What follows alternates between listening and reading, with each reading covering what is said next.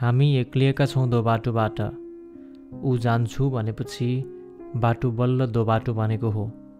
समाइरहेको हात छोड्छु भनेपछि हात बल्ल हातहरू भनेका हुन्।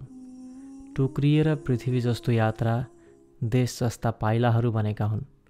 ऊ जान्छु भने कसैको भूगोलमा म कुनै देशको सिमाना जस्तो बनिनँ। उसलाई जान दिएँ सिमाना काटेर नदी गए जस्तै। ऊ जान्छु भन्दा जीवनको एक हाँगा भाँचिए जस्तो नभएको पनि होइन। फेरि मैले सम्झेँ जीवनको उचाइ र उचाइसँगैका नयाँ हाँगाहरू। तिनै हाँगाहरूमा प्रेमको नयाँ गुण बनाउन कोही आइपुग्नेछ म उभिरहनु छ रुख जस्तै स्थिर भनेर।